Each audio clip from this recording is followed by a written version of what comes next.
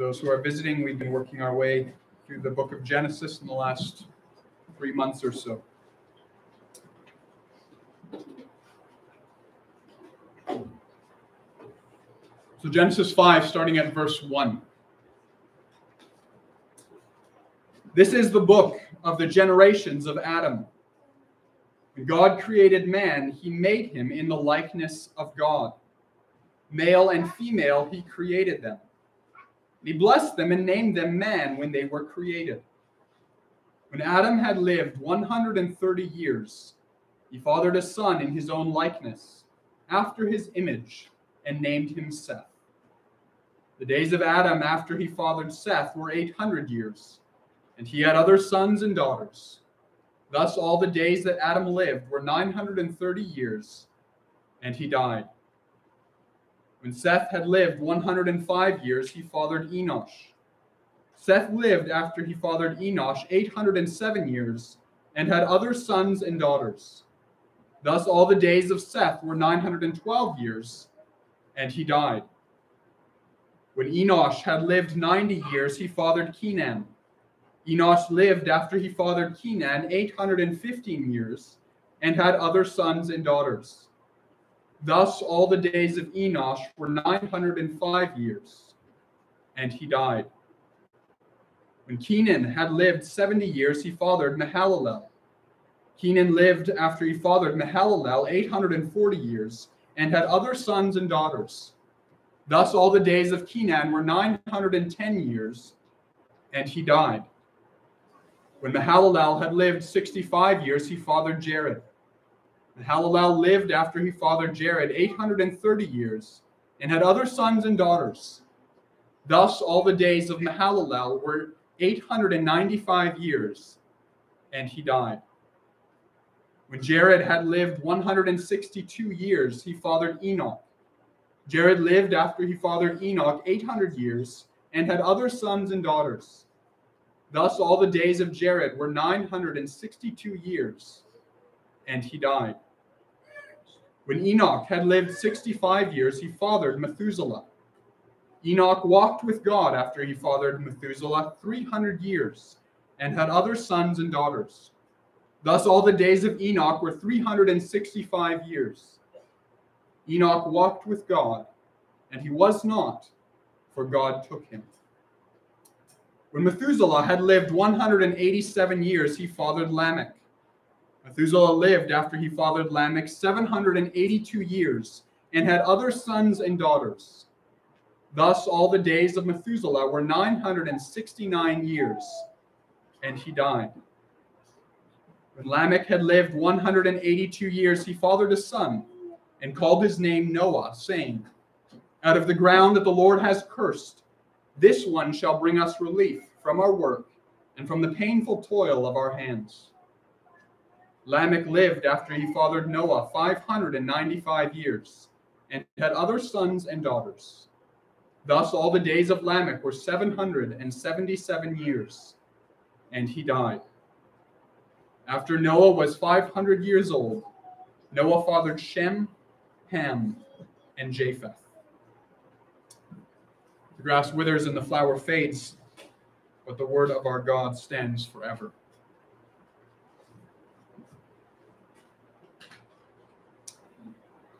I love, I love to study history. And I especially love studying church history. Because as a Christian, I recognize that in a very real sense, church history is my history. It's the history of the family of God throughout the ages. And I find particular enjoyment and blessing in reading Christian biographies, reading about the lives of the saints who have gone before, and to see the, the ups and downs of their spiritual life, to see the faith and the hope that they displayed, to see the communion that they had with God, to see the ways in which they died in faith. They died in the hope of the resurrection. Well, this morning we come to a biblical genealogy, really the, the, the first somewhat lengthy biblical genealogy. Genealogies are often caricatured as being somewhat dry and boring, uh, and they don't really have any meaning to us. That's what a lot of people have the impression of when we come to genealogies. Well, I want us to recognize this morning as we come to Genesis 5 to recognize that this genealogy is, if we boil it down, it is the history of God's people. And it has glimpses of Christian biography within it. And if we have eyes to see it, there's great encouragement and there's great instruction to be found here. Now, as we come to chapter 5 of Genesis, for those who are visiting, I just want to set the context of where we have been in the last several weeks. In Genesis 3, verse 15, God had declared that he would put hostility between two lines, between two families, between the seed of the woman and the seed of the serpent. And he had made clear that there would be a great conflict between these two lines throughout history. As we came to chapter 4, we recognized that this conflict was not so much between demonic forces and humanity as a whole, which is kind of the impression you might get initially. But what we saw in chapter 4 is we saw that there is a great division within humanity itself between two great groups of people, what we might call the elect and the reprobate, between the godly line and the ungodly line, the city of God and the city of man, seed of the serpent and the seed of the woman. In the first half of chapter 4, we read the well known story of Cain and Abel, and we saw the, the hostility, the beginning of the hostility that would mark the interaction between these two lines. And the second half of chapter 4, in a sense, these two lines were separated, they were pulled apart. And we saw what characterized the development of each one. So we saw that the line of Cain, we could call the ungodly line, is a line that is fully focused upon man. They're fully focused on, on this world, on trying to make a paradise out of this world with technology, with art, with music. But we saw that in contrast to that, the family of Seth were a people that were marked and characterized by their dependence upon God and their worship of God. Well, as we continue into chapter 5, the, the text continues to focus on the line of Seth, the family of Seth. And we're given really a more in depth look at what characterizes and what marks the development of the godly line in history. Now, before we get into the text itself, I want to begin by drawing your attention to the first words of the chapter. The chapter begins by saying, This is the book of the generations of Adam. Now, this phrase, these are the generations of, is used 10 times in the book of Genesis. And it's really understood to be the key uh, dividing statement of the entire book. So if you look ahead to chapter 6, verse 9, you'll see it there again. These are the generations of Noah. And so, with this statement dividing Genesis into its main sections, what that means is that what we have in chapter 5 in the beginning half of chapter 6, we have a short section that spans the long period of history between Adam and Noah. Of course, if you recognize the years of uh, that these people lived, you recognize that we are being pushed along through history at a very, very, very fast rate. We're covering a period of over uh, 1,500 years with very little detail being given. It'd be very easy for us to just breeze over this and, and move on to the, the story of Noah and the flood. However, it's here that the importance of history comes in. Because if we understand that history is the dealings of God with his people, we recognize that what we are seeing here is we are seeing God's preservation of his people, God's preservation of the godly line in a corrupt age of the world. And so, what I want to do then is I want to look simply at three important things that mark the godly line in history. Three things that mark the godly line in history. We'll look at the purpose of the godly line, then the groaning of the godly line, and then the hope of the godly line. So, first in verses 1 to 3, we have the purpose of the godly line. The purpose of the godly line. Look at verse 1 to 3. God created man, he made him in the likeness of God. Male and female, he created them, and he blessed them and named them man when they were created. When Adam had lived 130 years, he fathered a son in his own likeness, after his image, he named him Seth. So these verses are given, in a sense, as an introduction to the genealogy that follows. And of course, they bring our minds right back to Genesis 1, back to the creation of man. They're a very clear allusion to the account of God making man in the image of God. There's this very interesting statement in verse 3 that Adam, or that we're told there that Adam fathered a son in his own likeness after his own image. Now, what is going on there between that contrast between man made in the image of God and Adam having a son in his own image? There's an older interpretation that would understand this verse in a very negative way. It sees this great contrast between Adam being made in the image of God and Seth being made in the image of Adam as a negative statement of the fact that Adam's sin is being passed down to his children. And so Adam was made in the perfect image of God in righteousness and holiness, but his son was made in his corrupt image, his image that was tainted by sin. So just as pigs have baby pigs and dogs have baby dogs, so sinners have baby sinners.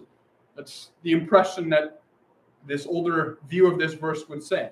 And it's especially emphasizing that the fact that Adam had faith doesn't change the fact that his sin is being passed down throughout the generations. And there's truth to that interpretation.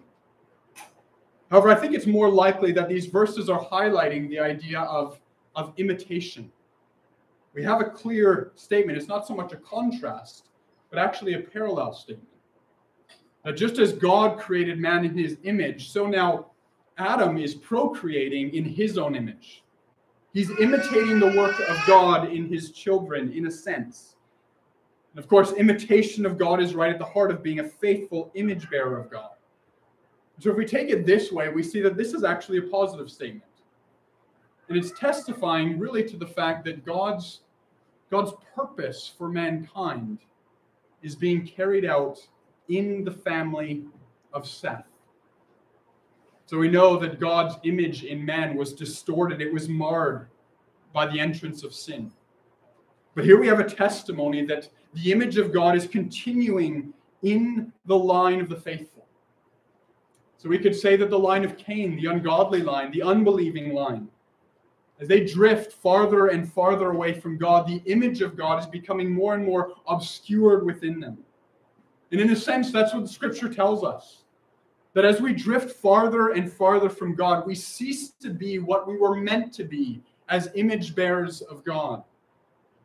And Second Peter 2 would say that we become more and more like beasts, more and more like animals that just live for the passing pleasures of life, that live to fulfill our fleshly desires. And in a sense, that's the testimony of the line of Cain. However, in the line of Seth, by their dependence upon God, by their worship of God, in a sense, they are coming to know something of the blessing of God and they are realizing the purpose of God for mankind. And of course, of course, ultimately, this carries us right to Christ. It's through the godly line that the, the perfect image bearer is going to come. It's through the godly line that Christ is going to come who will renew his image in his people. Well, Luke would seem to hint at this interpretation in his gospel. Uh, the, the gospel writer Luke, he traces the genealogy of Christ back to Adam. And he ends it by saying, the son of Enosh, the son of Seth, the son of Adam, the son of God. Tracing things right back to God, the preservation of the image that finds fulfillment in Christ. Well, at the end of the day, I wrestled and wrestled with those two interpretations about which which one is the focus of that statement. And I think there's a measure of truth in either of them. Both of them seem to fit the context. But I think at the end of the day, what we need to recognize is that what is being said here is that God is preserving his image. Brothers and sisters, as we think about the, the purpose of the godly line in history, this is something that is true of God's people in every age. We look around at a world where people are rebelling against God, and in, a sense, we see that corruption is spreading. We see that God's original design for mankind is being thwarted in a sense. People are dragging the image of God through the mud. And we look around and we say, Where is the image of God, the clarity of righteousness and holiness and knowledge? More and more, it seems as though people are giving themselves up to fleshly passions. We're becoming like the beasts that perish. But here we have the purpose of the godly line in history testimony that God is preserving for himself a people. And in every age of the world, God will have his people who, in some measure, are what God intended man to be. The image of God is being preserved by God's grace in his church and in his people. And so we have the purpose of the godly line in contrast to what we saw in the line of Cain. Let's move on, secondly, then, to see the groaning of the godly line. The groaning of the godly line. And this traces itself all throughout the genealogy. As we read through the genealogy of the chapter, the thing that really stands out to you is the extraordinary length of time that these, these men lived. Just stands out to you 900 years, 700 years, 800 years. And of course, modern scholars and scientists will scoff at these numbers. And the truth is, we don't know all the all the details of how exactly this worked. The impression that we have, the fact that Scripture is showing us, is that before the flood, for some reason, men lived far longer than they did after. In a sense, the curse of death, you could say, took time to sink into man more and more. Whatever else this testimony of long lives does, is it it gives us the impression that the godly line is continuing under the blessing of God. See, in the Old Testament, and especially in the, the books of Moses, a long life is a testimony of God's blessing. It's interesting to note that in the line of Cain in chapter 4, there's no, there's no mention of how long they lived. But here there's a focus on them, their long lives to testify of the blessing of God. And they're having sons and daughters. They're multiplying and filling the earth like God called them to do. So the impression that we have is that here is a line, again, under the blessing of God, in some measure, fulfilling the purpose of God in history. And so, in, in that sense, we're given a quite a quite a positive picture in this genealogy of the family of Seth. However, it's in the midst of that positive picture that there enters in this very sobering refrain that really rings through the passage again and again. And he lived, and he had sons and daughters and he died. And he lived and he had sons and daughters and he died.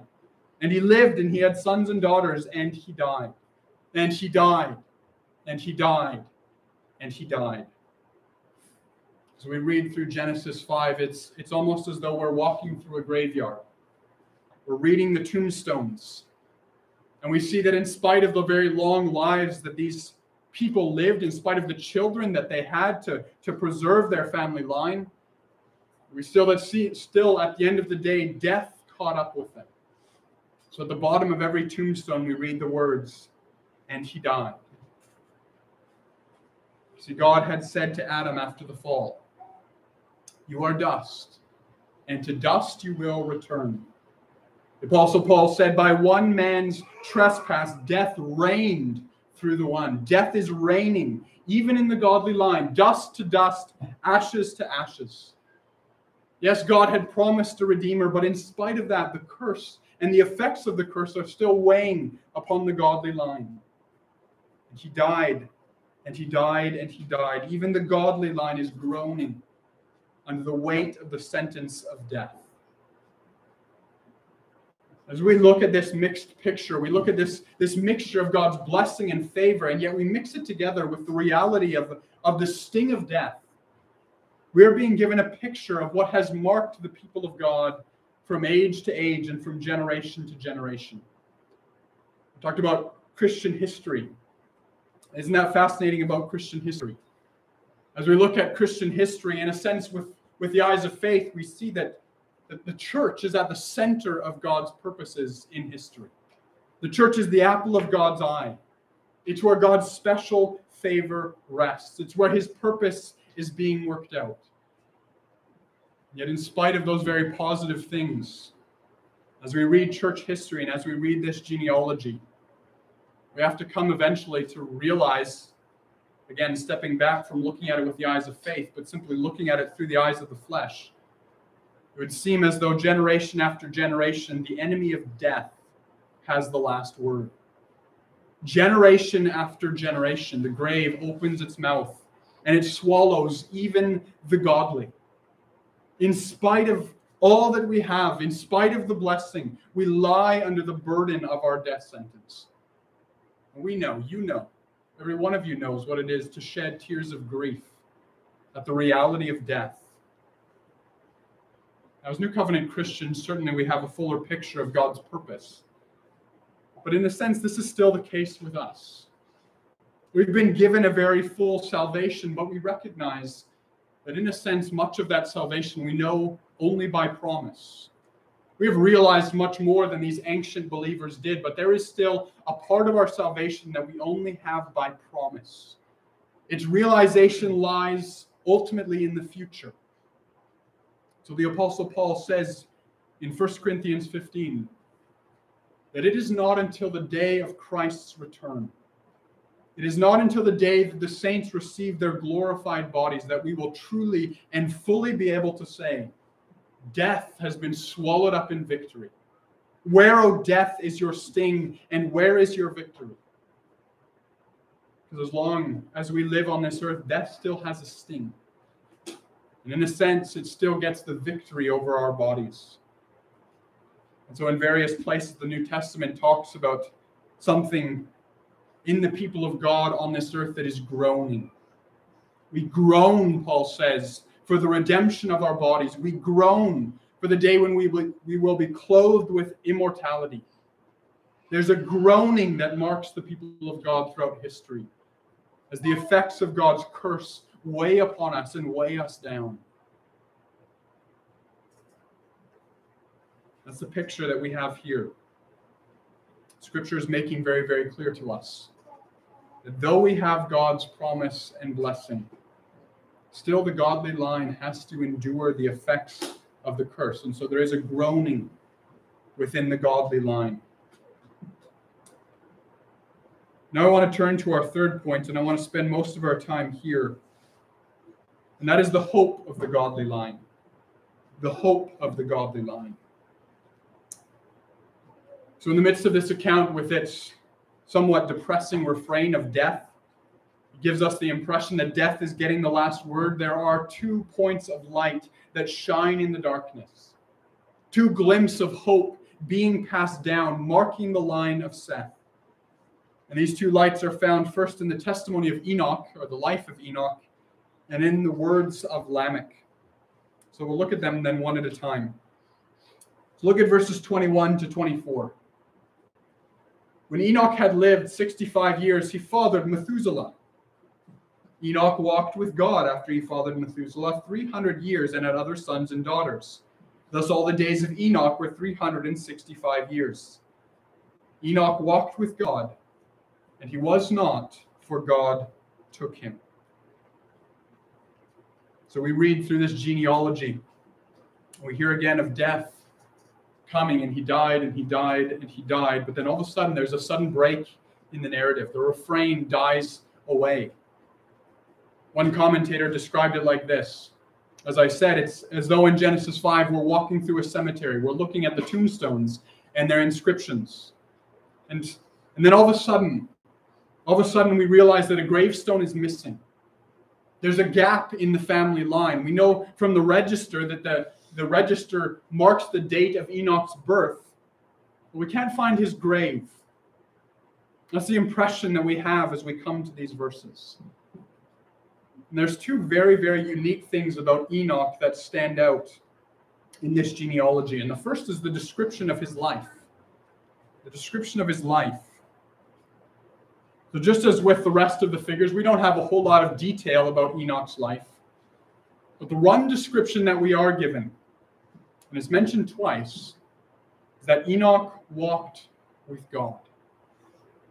Now, the phrase is not used very often in Scripture. It's used here and then later of Noah, and then later in Malachi, it speaks of the relationship that faithful priests had with God. The idea of walking before God is far more common. It would speak of walking in obedience to God. But the idea of walking with God really emphasizes a personal and in, uh, intimate picture it gives a picture of Enoch walking side by side, talking with God as he walks by the way. It highlights the fellowship and the communion that Enoch had with the personal God. And isn't that, isn't that beautiful to think about that? That we can take Enoch's life and the total summation of Enoch's life is found in that one little phrase. Uh, certainly, 365 years, there was more to Enoch's life. We learn actually in the book of Jude that Enoch, in some sense, was a prophet.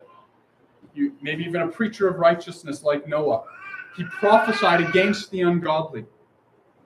But as his life is recorded here, the one thing that is noted is that he walked with God. It's actually interesting. If you look at verse 22, walked with God is substituted for lived. So in the rest of the verses, we read Mahalalel lived after he fathered Jared, and Jared lived after he fathered Enoch, but Enoch walked with God after he fathered Methuselah. In a sense, what that's saying is that for Enoch to live was to walk with God. His life was walking with God. He could say with the Apostle Paul, For me to live is Christ. For me to live is to walk with God. He was a Psalm 73 man. In the midst of a world that is where the corrupt are prospering, he could say, My portion, my portion is God. For me, it is good to draw near to God. It's actually very interesting. Enoch's life is set in vivid contrast to the life of Cain's descendant Lamech in chapter 4. See, Lamech and, and Enoch are both the seventh generation from Adam, and yet their lives could not be more different. We saw last week that what marked Enoch, or sorry, what marked Lamech was arrogance, was violence. But what marked Enoch was walking with God. In a sense, we could say that in the line of Cain, the seventh generation, ungodliness comes to its climax. In the line of Seth, in the seventh generation, godliness comes to its climax.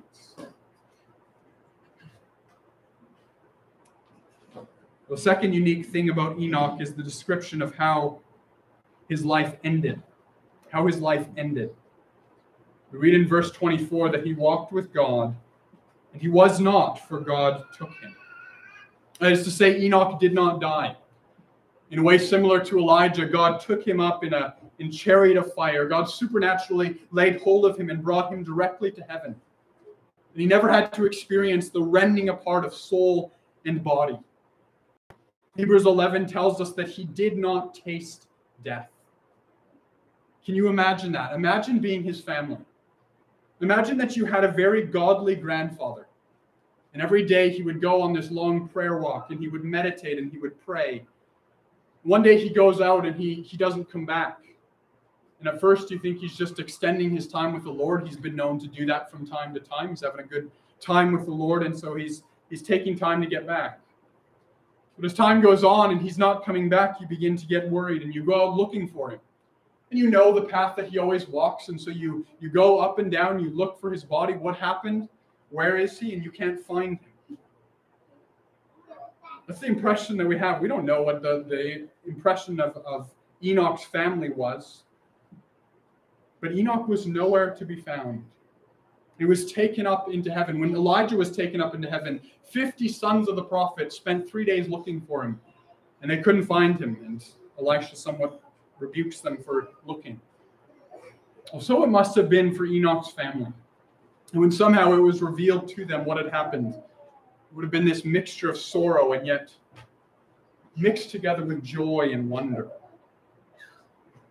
Well, however confusing it must have been for Enoch's family, this record was given ultimately to be a comfort, a comfort to the ancient believers throughout history because it was a testimony that death can be overcome. It was a bright shining star in the midst of the darkness of death. And you should remember where we are. This is just mere generations after Adam. In fact, Adam would have been alive when Enoch was born. In a sense, they're still living in the sight of Eden. They can see paradise,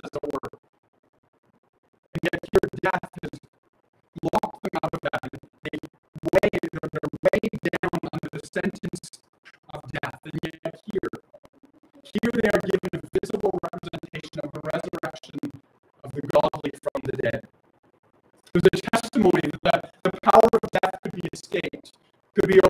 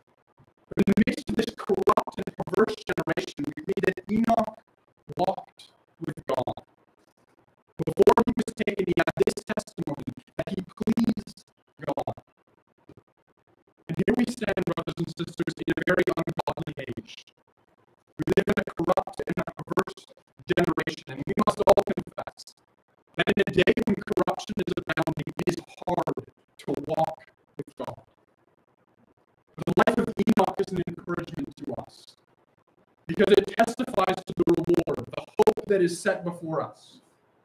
It testifies to us that those who will walk with God now, no matter what kind of persecution, no matter what kind of pain it brings, those who walk with God now will be with God forever. Jesus said to the church in Revelation, He who endures to the end, I will grant to sit with me on my throne. And so this is a call for endurance. Brothers and sisters, walk with God. With all the temptations, all the corruption around you, walk with God. Walk in communion with God. Don't allow yourself to be distracted and pulled away from God. There is a hope that is set before you, there is a reward that awaits you in heaven. Walk with God through Jesus Christ.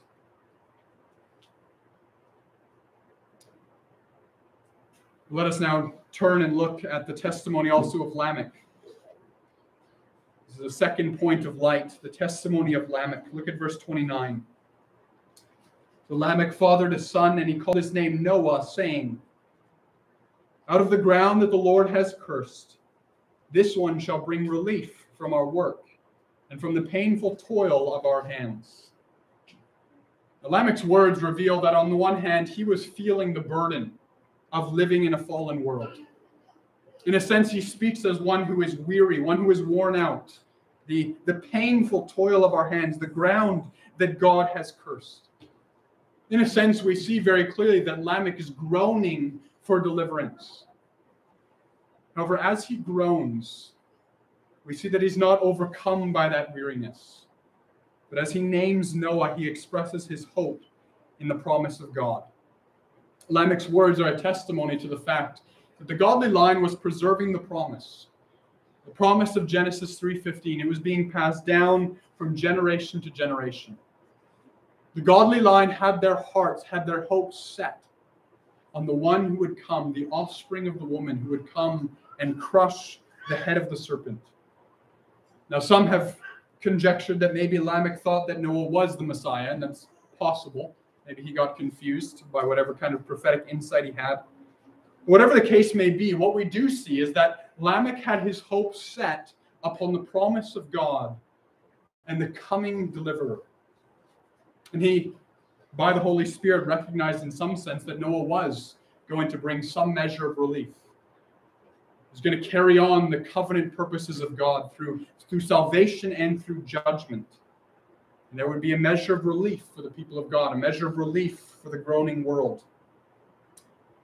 But at the end of the day, really what, what it highlights for us is that Lamech's hope was resting on God's promise of deliverance. Though I groan under the toil of the curse, God is going to send relief according to his promise. So, once again, we have in Lamech another testimony of the hope of the godly line. We have the testimony of Enoch that God would overcome the power of death, but we also have the testimony that that hope was set upon the promised Savior that would come. Brothers and sisters, again, this is a lesson for us. As we again groan under the effects of the curse with painful toil, with suffering, with death, as it goes on from generation to generation, age to age, and sometimes we find ourselves overcome by weariness. We are reminded here that hope of deliverance is to be found, hope of relief is to be found in the promise of God. Just think about that. The, the ancient believers here, Lamech, he only had one promise to hold on to. One single promise. 1,500 years of death with corruption all around. And he had one promise to hold on to. And he held on to it, waiting for God. Brothers and sisters, we have promise after promise after promise. In a very real sense, we've seen again and again God fulfill his promise, most especially in sending the Lord Jesus Christ. How many promises do we have to hold on to in the midst of the groaning of this world? We have the promises of hope, the promise of a resurrection. I would say to you, as the writer of Hebrews says to his listeners, my desire for each one of you is that you will show the same earnestness to have the full assurance of hope until the end. That you would not be sluggish, but imitate those who through faith and patience inherit the promises. Brothers and sisters, as you groan, hold on to the promise of God. No matter how long it takes, God will not fail. Hold on to the promise of God.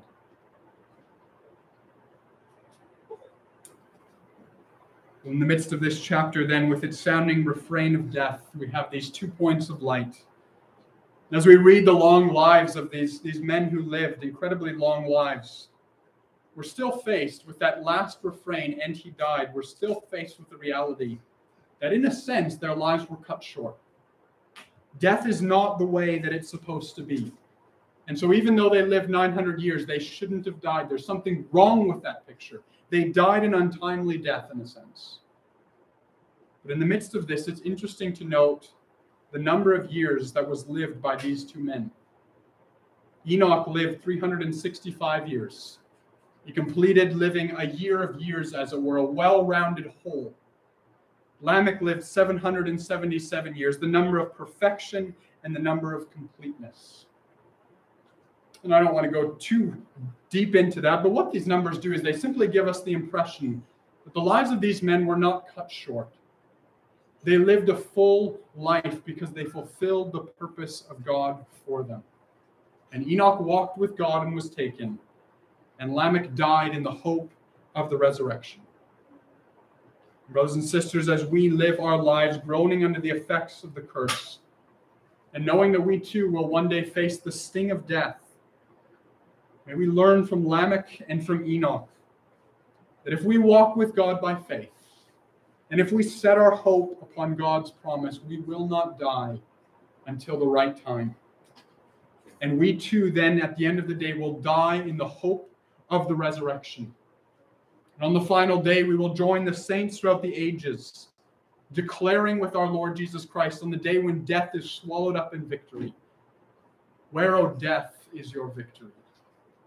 Where, O death, is your sting? Press on, brothers and sisters. Through faith and patience, may you inherit the promise. Amen. Let us come before our God in prayer. Our glorious God in heaven, we, we marvel, O God, at your work throughout history. We marvel at your care and your grace towards your people.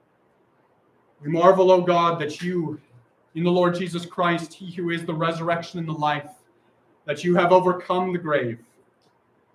Father, as we live in this groaning world and as we groan within ourselves for the redemption of the bodies, pray that you would help us to set our hope upon our Savior, upon the promise of his return, upon the promise of the day when death will be swallowed up in victory. Gracious God, strengthen our hearts that we might walk with you. We pray this in Christ's name. Amen.